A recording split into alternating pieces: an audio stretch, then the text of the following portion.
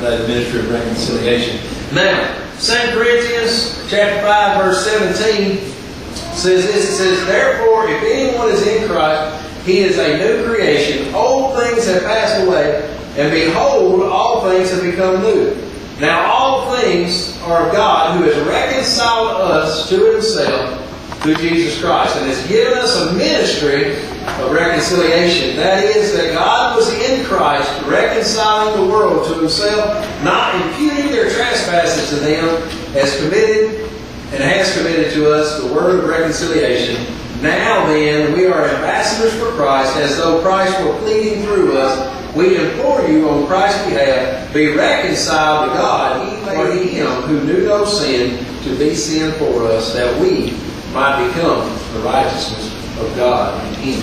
Now, being reconciled to God is more than just evangelism.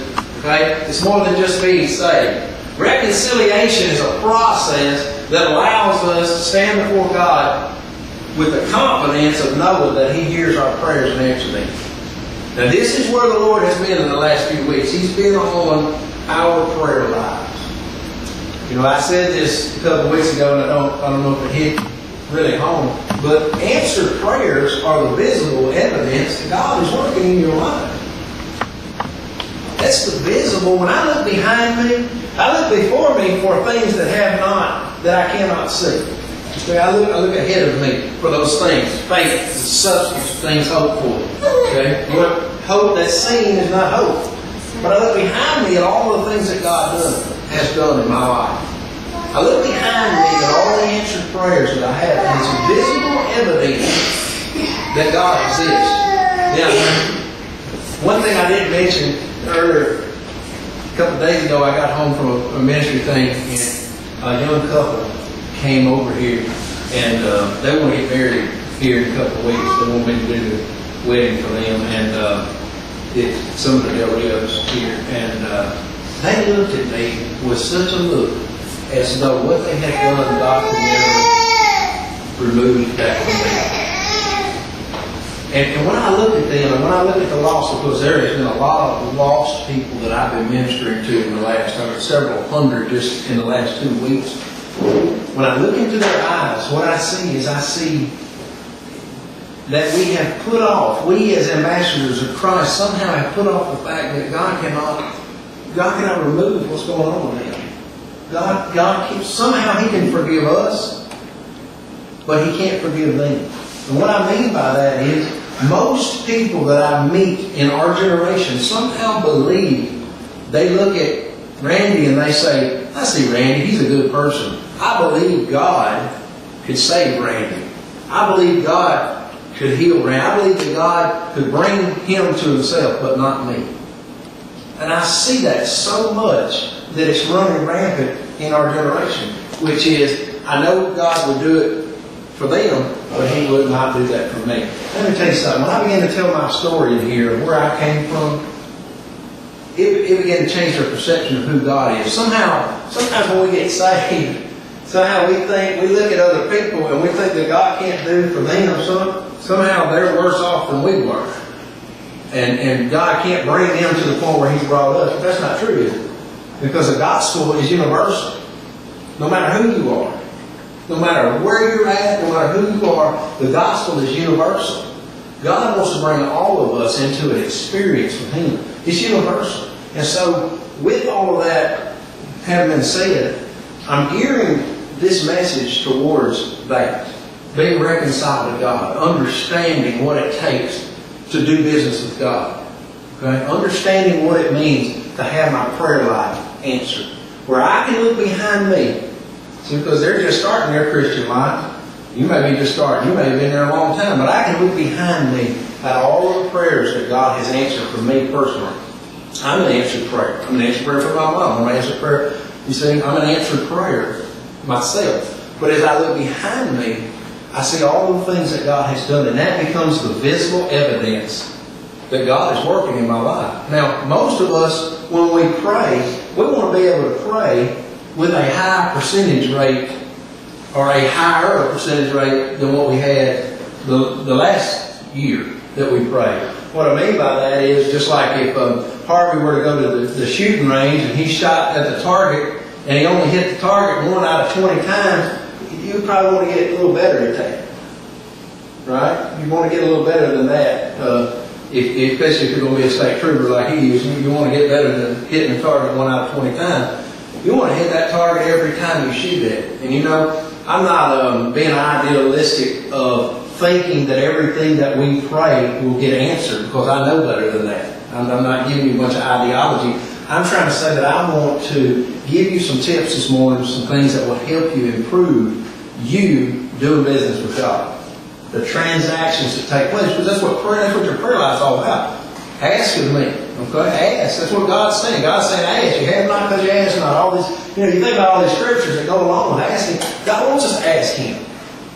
Okay? God wants us to pray. He wants us to ask Him, and those prayers are supposed to be answered. Now, now get that. You're praying. Now, all the prayers you pray may not be godly prayer. You know, they may be not God's will, or they may be your own selves. I don't know. But, but what I'm saying is, when you pray, you expect that prayer to be answered, right? I mean, you expect your prayers to be answered. That's what we want to address today. Being reconciled to God has more to it than just being saved. Reconciliation is a process that allows us to stand before God in the confidence of knowing that He hears our prayers and answers them. It's more than just evangelism, this word reconciliation. And he uses it in this passage. It's more than just evangelism. Because when we think about being reconciled to God, we think about evangelism. But the truth is that what Paul's talking to the church at Corinth here, he's talking to them about being reconciled. And this, this term, reconciled, means to be in harmony with God. To be in sync with God. Okay? When, if I take my if I take uh, that clock on the wall and I set it with my clock on my phone, then I'm syncing them together, right? All right, boys, sync your watches. You know, on the old TV shows, you know, they would dog they would plan that like, okay, sync. Getting in sync with God is a big deal. That's part of me. That is what being reconciled to God means. And there are steps and a process that it takes to be in step with God, to be in tune, to be in harmony with God is not that easy. True? Most of us understand that it's not that easy to walk in the Spirit, is what the Bible calls it, to be there in that place where everything you pray and everywhere you're at. Now, Jesus did, didn't he? Jesus never went anywhere, nor did he pray anything that was amiss. And everywhere he stepped his foot was where the Holy Spirit wanted him to. But there are days when I wake up, when you wake up, when we miss it, don't we? There's sometimes I go for an hour or so in the morning, and I realize you know what? I need to stop and back up. I'm out of sync. Some just don't feel. Some, you know, not that I have to feel good every day, but I'm saying something feels within inside of me that I need to stop and see what's going on. Well, where are you at? In other words, where, where are you doing? Where are you at? How can I get back in sync with you? And and the ministry of reconciliation has to do with taking someone and putting them in the place where they're back in sync with God. Okay? You understand that, right? I'm kind of getting that clear what the term reconciliation means. It means to look at someone, and the, the ministry of reconciliation is where I look at someone, or you look at someone, and you put them back in the sync with God. Okay? Now let's start off with talking about this. There's, there's three things that have to take place. I'll say it like this. The word for reconcile in this passage is also a term that is used for exchanging money. And that's where I want to come with this this morning. This term reconcile has to do with the exchange of money. Okay? Now, what do I mean by that? It's just like taking American dollars and exchanging them into Nicaraguan dollars, or yen, or euros, or whatever the currency may be. What you are doing here when you are being reconciled is you are exchanging one thing for another. Is that true? You exchanged your old life for a new life in Christ. Okay, I'm kind of you're following that, right? So the exchange that's taking place would just like would be just like if I went to Nicaragua and I exchanged, and I've done that. Take hundred dollars and exchange it for they call them I think they call them Cordobas down there. And uh, the last time we were down there, me and we, we took and uh, it was an open air market, and then Roger took us down there and we went in this open air market. And this guy, they're all up there playing dice on top of a bunch of burlap feed sacks, and they're playing dice